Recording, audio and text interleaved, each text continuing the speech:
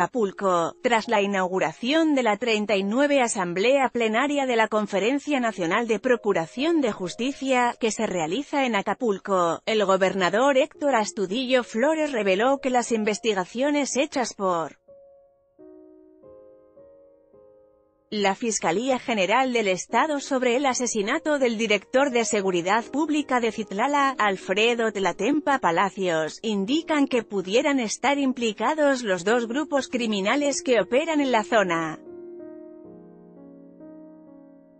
El mandatario dijo que el jefe policíaco estaba vestido de civil y fuera de horario de trabajo cuando ocurrió el ataque, que el asesinato ya se está investigando por la Fiscalía General del Estado.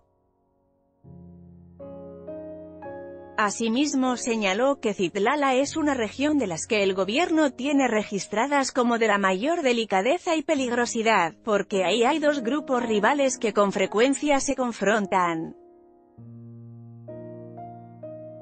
Gobernador de Guerrero, Héctor Astudillo Flores Foto, cortesía En esa zona, hay una confrontación entre los conocidos como rojos y ardillos, muy fuerte y sin duda, sin que yo pueda afirmarlo, las líneas de investigación son precisamente estos dos grupos, señaló el gobernador.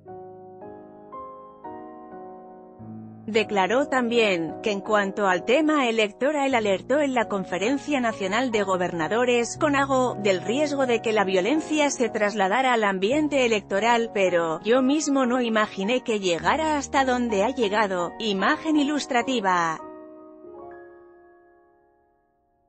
Foto, bajo palabra su advertencia fue con base en su preocupación de lo que podía pasar en Guerrero, pero, yo creo que me quedé corto, porque la situación se ha ido a los estados y se presenta lamentablemente en el ámbito electoral, lo que ha costado muchas vidas. La delincuencia se ha envalentonado y con toda facilidad se mete y le quita la vida a quien cree que no le va a servir, señaló el mandatario estatal.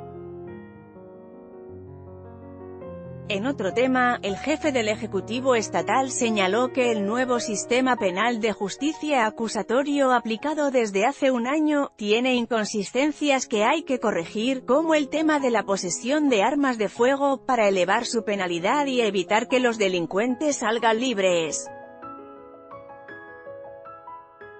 Como lo informó Noticias Acapulco News, en esta nota, Guerrero jefe policíaco asesinado citla grupos criminales.